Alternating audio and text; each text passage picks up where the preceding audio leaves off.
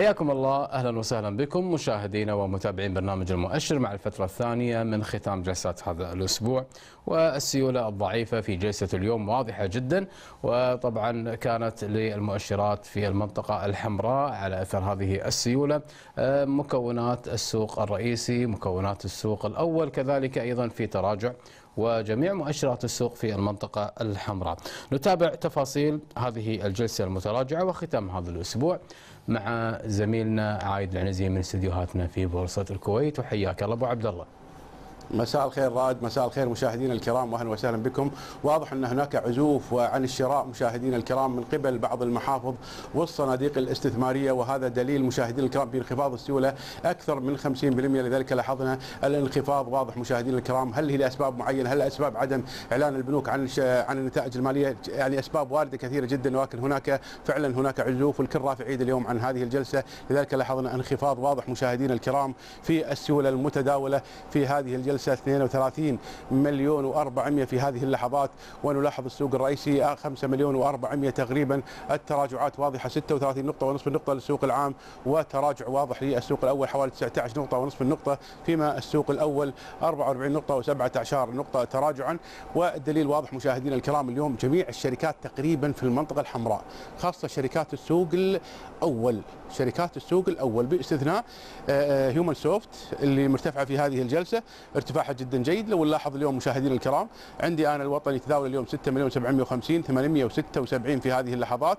الطلب بالحد الأعلى 973 232 والعرض 841 حوالي 38 ألف يعني عرض بسيط جدا مقارنة بالطلب. الطلب أقوى من العرض بالنسبة للوطني. لكن لحد الآن الشيء الملفت للنظر بأن الوطني لم يعلن عن النتائج المالية وهذا أمر أعتقد أنه لأول مرة يحدث تأخير النتائج المالية للقطاع المصرفي. ممكن يكون له تأثير مشاهدينا الكرام على حركة التباين حركة السوق.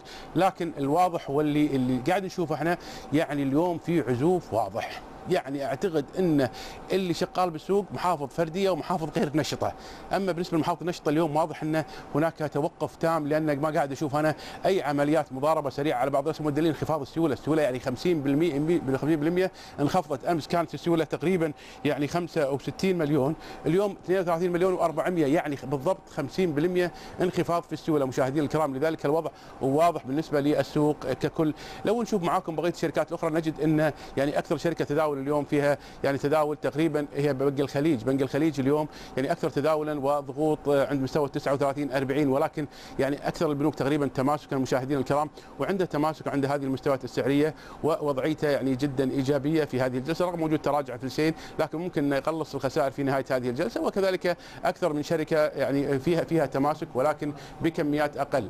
الوضع العام مشاهدينا الكرام هو مثل ما قلنا قبل شوي هناك عزوف هناك الكل ماسك كاشه اللي الحين ببين بالنسبة للمحافظه الصناديق الاستثماريه شنو الأسباب؟ ما في أي سبب واضح مشاهدينا الكرام إلا باستثناء اللي قلنا اللي قلنا اليوم الصبح هو تأخير النتائج المالية للقطاع المصرفي تحديدا. نكمل معاكم مشاهدينا الكرام بنك الخليج ونشوف وضعية بقية البنوك هل راح يكون هناك اقفالات لبعض الشركات ولا لا؟ راح يبين معاي في هذه اللحظات وخاصة للقطاع المصرفي. نلاحظ بنك الخليج 259 مطلوب 33000 معروض 292 حوالي 5800 13 مليون سهم الدولي المتراجع 217 والعرض والطلب تقريبا متساويين.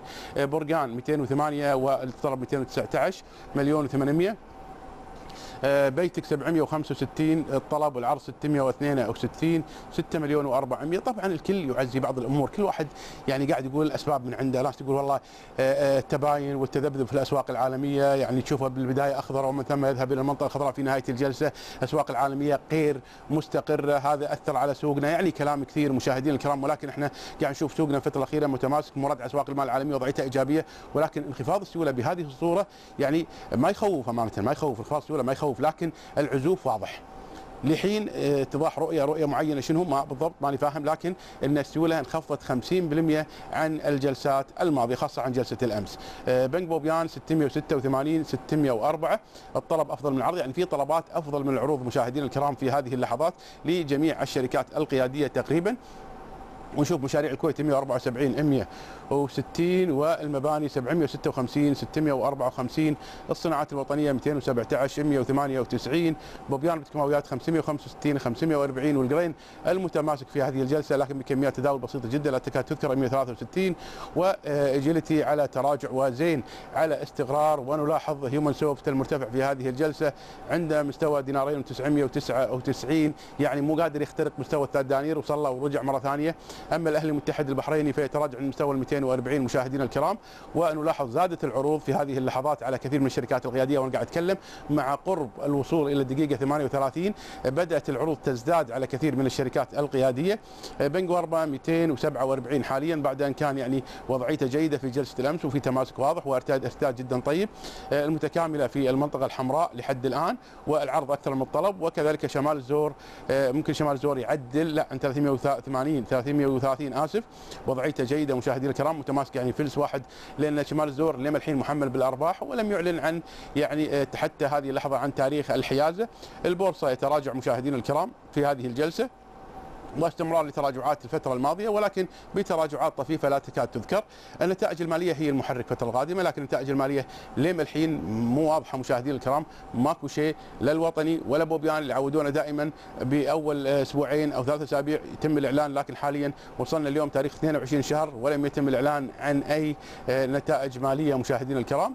أما بالنسبة للسوق الرئيسي الأهلي الكويتي عندي على استقرار ونلاحظ الأهلي المتحد على تراجع الكويتية على تراجع والتسهيلات على تراجع إيفا بتراجع الساحل المتماسك والساحل راح يذهب إلى المنطقة الخضراء في نهاية هذه الجلسة. الساحل في شراء ممتاز ولكن ضغوط السوق طبعا أدت إلى استقراره وأعتقد إن إخفاء المزاد ممكن يكون للساحل دور في المنطقة الخضراء بيت الأوراق المالية المتراجع لكن راح يعدل في نهاية هذه الجلسة.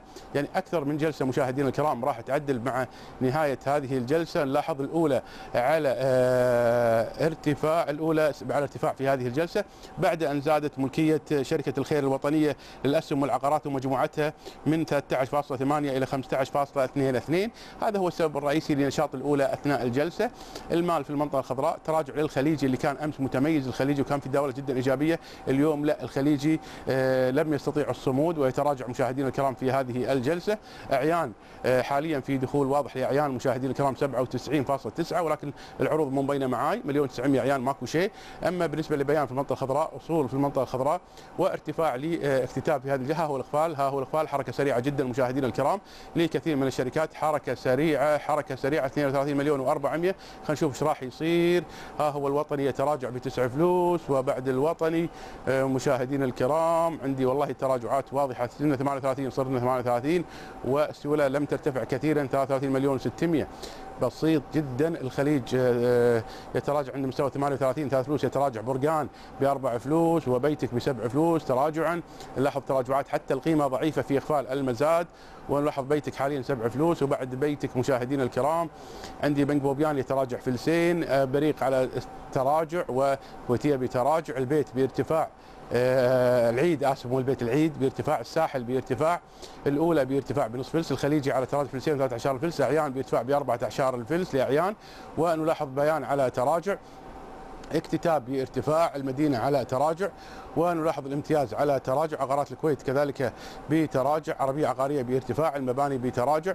ونلاحظ مشاهدينا الكرام المستثمرون على استقرار تعمير بارتفاع ومراكز على تراجع مع الصناعات الوطنية بأربع فلوس اللي كانت صامدة في الفترة الأخيرة كابلات على تراجع بورتلاند باستقرار أجيليتي بتراجع. ونلاحظ ها هو الجرس النهائي مشاهدينا الكرام لشراء ما بعد المزاد. زين على استقرار سينرجي بارتفاع ب 14 الفلس والمعامل بارتفاع بخمس فلوس. الان على تراجع وهيومن سوفت في المنطقة الخضراء وبترو على تراجع. ألافكو ورماية في المنطقة الخضراء الرأي بارتفاع. والمواشي كذلك بأربع فلوس ارتفاعا الاهلي المتحد البحريني بأربع فلوس تراجعا. ونشوف مشاهدينا الكرام بنك وربا المتراجع يعني تراجعات وشمال الزور كذلك بفلس واحد يعني وضعية يعني جيدة. مشاهدينا الكرام حتى اللحظة نلاحظ 38 نقطة و19 نقطة للسوق العام وبكمية تداول 199 مليون سهم. هذه الكمية تمت من خلال 9586 بقيم 33 مليون 700 نصيب السوق الرئيسي 5 مليون و500 المتراجع 16 نقطة و19 نقطة. فيما السوق الأول 48 و49 نقطة يتراجع وبقيم تداول تصل إلى 28 مليون و100 يعني لو نشوف مشاهدينا الكرام عملية فرز سريعة جدا نجد إن الخليج أكثر تداولا 13 مليون بالنسبة للسوق الأول. بقية الشركات الأخرى تداولاتها معقولة نوعا ما ولكن المنطقة الحمراء لجميع الشركات دون استثناء. وعندي استقرار للشركتين فيما هيومن سوفت هي الوحيده المنطقة الخضراء وعندي الساحل في المنطقة الخضراء في هذه الجلسة وارتفاع للأولى والمال ولكن الكميات ما زالت بسيطة على كثير من الشركات باستثناء الأولى 17 مليون و400 والاكتتاب بالمنطقة الخضراء ب 12 مليون وشوي وتراجع للمدينة وتراجعات والله واضحة لكثير من الشركات مشاهدينا الكرام وبكم أعيان بدخول واضح في اقفال المزاد وأدى إلى ارتفاع 89.4 وأكثر من شركة في المنطقة الخضراء. يعني مشاهدينا الكرام جلسة متباينة جلسة آه، آسف ليس متباينة جلسة ضعيفة الأداء جلسة قاب عنها المحافظ والصناديق الاستثمارية مما ادى انخفاض السيولة بنسبة 50% عن جلسة الأمس. لذلك غياب صناع السوق واضح ومؤثر في حركة التداول في هذه الجلسة جلسة ختام الأسبوع. نتمنى إن شاء الله الأسبوع القادم أن يكون الوضع مغاير وتكون الأمور أكثر إيجابية إن شاء الله.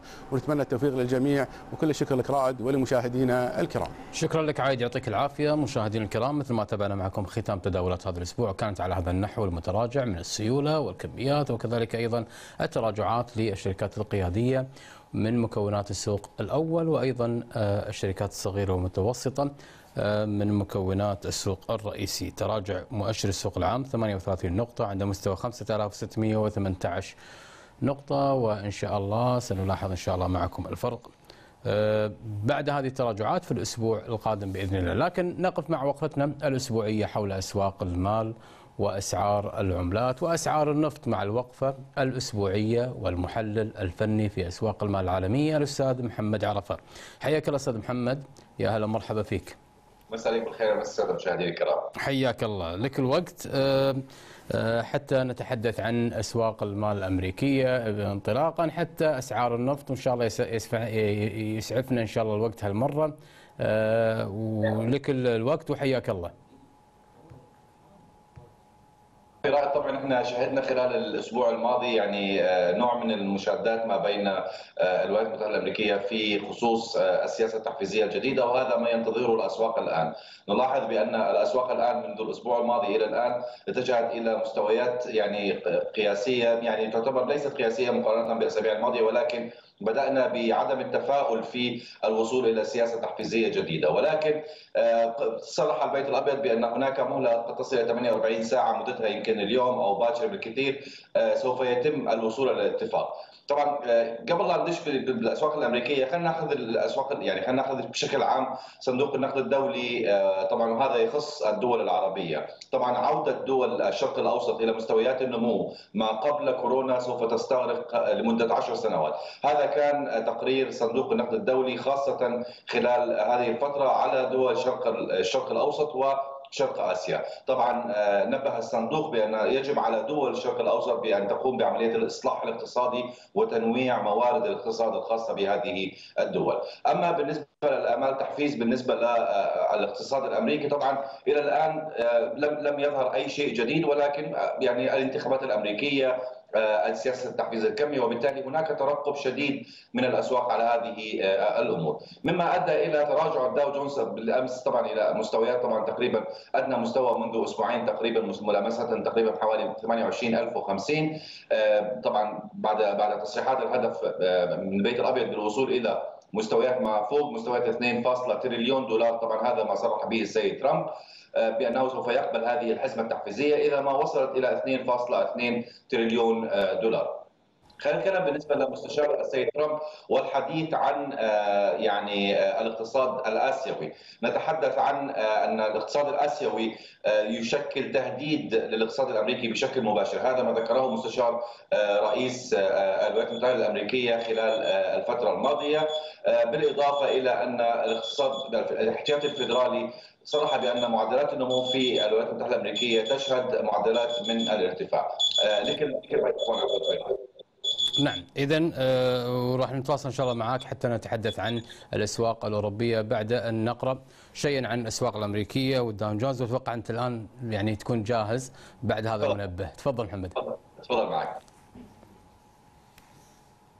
خلينا نتكلم بالنسبة للإنتاج الصناعي ويعني الحديث عن الإنتاج الصناعي. طبعا ارتفاع غير فوق المتوقع. طبعا كان في شهر سبتمبر بالنسبة للولايات المتحدة الأمريكية طبعا كان لا أثر إيجابي نوعا ما. بالإضافة إلى أن الولايات المتحدة الأمريكية بدأت ببيع سندات تفوق ال 20 عام الآن ومن المتوقع أن يكون عليها إقبال شديد خلال الفترة القادمة. وبالتالي قد تخرج السيولة من يعني الأسهم الأمريكية إلى هذه الصناديق الخاصة بالسندات في الولايات المتحدة الأمريكية. نتكلم بالنسبة لمباني المنازل الجديده وتعافي يعني قوي جدا. خلال شهر سبتمبر بالنسبة للمباني الجديدة بالنسبة للولايات المتحدة الأمريكية، طبعا هذا أدى إلى ارتفاعات في أسعار المنازل في الولايات المتحدة الأمريكية. الآن المعدلات الفصلية وال خلينا نقول البيانات الفصلية الخاصة بالشركات الولايات المتحدة الأمريكية تسلا الآن لل يعني خلينا نقول تسجل خامس أرباح فصلية متتالية على مدار السنة الماضية، يعني نعلم بأن معظم الشركات الآن تسجل يعني إما أرباح طفيفة جدا ليست مقارنة بالسنوات الماضية أو خسائر ولكن تسلا الآن بدأت بالخروج بأرباح قوية جدا. بالإضافة إلى أنه مع الأرباح هذه تم تراجع سهم تسلا إلى مستويات 5% بالأمس القريب طبعا هذا بسبب عدم السماح عملاء الصين بعودة السيارة ما بعد قبل أسبوع أو بعد أسبوع من استلامها من شركة تسلا. طبعا هذا كان بالنسبة للشركات في الولايات المتحدة الأمريكية. نلاحظ بالنسبة للدواء الآن نحن نتداول دون مستويات 28200 تقريبا. هناك تراجع وصلنا إلى حوالي 1% بانتظار سياسة التحفيز الكمي قد يكون هناك انخفاضات أكثر من هذا المستوى. مع الانخفاضات الشديدة بعد ما نلاحظ أن هناك انخفاضات شديدة بالنسبة للداو جونز قد يظهر القرار وبالتالي تبدأ الأسواق مرة أخرى بالتعافي. خلينا نلاحظ بالنسبة لل S&P هناك تراجع وصلنا إلى حوالي مستويات ال 1.15% والناسداك هو الخاسر الأكبر بسبب بسبب خلينا نقول تراجع بالنسبة ل بالنسبة ل ابل وشركات أخرى بالإضافة إلى بعض طلب بعض الشركات بعملية split ال share حتى يكون متاح للمستثمرين. نلاحظ بالنسبة لافتتاحات اطلاقاتنا داو جونز على تراجع 1%، 1.5 بالنسبة للناسداك، أما 2.14% بالنسبة ل S&P. تفضل. ممتاز، ماذا الآن عن الأسواق الأوروبية؟ أوروبا طبعا والسيدة لاغارد، السيدة لاغارد الآن تتحدث عن التعافي بالنسبة للاقتصاد الأوروبي، طبعا أنه مهدد بفقدان الزخم الذي تم ضخه من قبل السيولة الكبيرة التي ضختها في الاتحاد الأوروبي، والانتعاش أصبح غير منتظم، وبالتالي هناك مخاوف داخل الاقتصاد الأوروبي من قبل رئيسة البنك المركزي الأوروبي. ولكن ذكرت بأن على على الاتحاد الأوروبي أن يقوم بعمل صناديق تنمية دائمة وليست وقتية وبالتالي هذا سوف يضع مرة أخرى الاقتصاد الأوروبي تحت المحك في الفترة القادمة بالإضافة إلى طبعا اتساع فائض الميزان التجاري بالنسبة لمنطقة اليورو إلى 20 مليار في شهر أغسطس فقط وهذا معدل جدا كبير بالنسبة لميزان المعاملات التجارية في الاتحاد الأوروبي.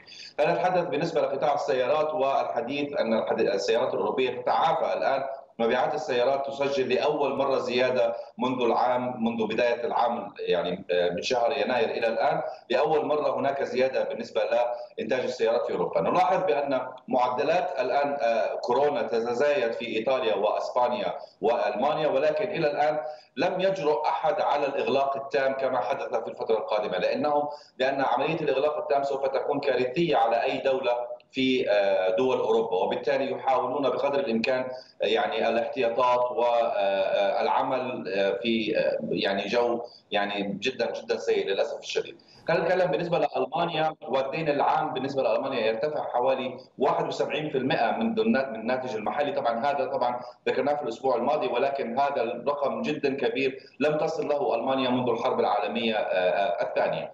أما بالنسبة لفرنسا وتخصيص 100 مليار يورو بالنسبة لإيرادات بالنسبة لمواجهة تداعيات فيروس كورونا ودعم الشركات. طبعا هذا كان له أثر إيجابي بعض الشيء. أما بالنسبة للتوتر ما بين الحكومة البريطانية والاتحاد الأوروبي نتحدث عن فشل ذريع بالنسبة للاتحاد الأوروبي وبريطانيا في التوصل بالخروج من بريكست وإلى الآن هناك نوع من يعني خلينا نقول التراسم ما بين الطرفين بأن السيد جونسون يقوم بالتلاعب على الاتحاد الأوروبي ويريد يعني الخروج بأفضل يعني خلينا نقول يعني السبل في الاقتصاد بالخروج بهذه الاتفاقية وبالتالي يعني اثرت بعض الشيء على ال pound ولكن هناك نوع من الإيجابية مما أدى إلى ارتفاع ال pound. خلينا نتكلم بالنسبة ل الاقتصاد الأسباني. طبعا لأول مرة طبعا يذكر الآن الأسبان بأن هناك 100 ألف شركة تم إغلاقها بفعل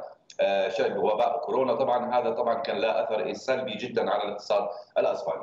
نلاحظ بالنسبة لداكس الألماني نلاحظ أن هناك تراجعات قوية جدا مقارنة بالأسواق الأمريكية 3.16% وكاك الفرنسي هم بعد هناك تراجعات وصلنا لحوالي 1% أما فوتسي 100 وبريطانيا والخروج من الدين العام بريطانيا عند أعلى مستوى منذ العام 1960 وبالتالي الاقتصاد البريطاني ذكرنا في الأسبوع الماضي بأن البنك المركزي البريطاني يعني ذكر بأن على البنوك البريطانية أن تتأهب لفائدة ما دون الصفر وبالتالي نحن نحن نتحدث الآن عن اقتصاد جدا ضعيف في الفترة القادمة.